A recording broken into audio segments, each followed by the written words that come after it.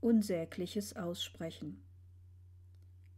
Die intensive Auseinandersetzung mit sexueller Gewalt begann im BDKJ Anfang der 1990er Jahre. In Seminaren wurde das Thema angesprochen und der Blick dafür geschärft. Es waren vor allem die Frauen im BDKJ, die sich dem Thema stellten und es in die Öffentlichkeit brachten.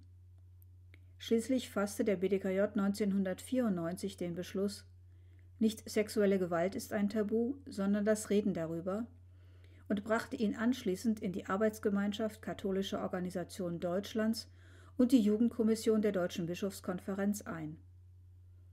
Unterstützung fand er zwar bei der Katholischen Frauengemeinschaft Deutschlands und dem Katholischen Deutschen Frauenbund sowie der Jugendkommission, doch es gelang nicht, die Anliegen der Überlebenden und die nötige innerkirchliche Aufarbeitung in Gang zu bringen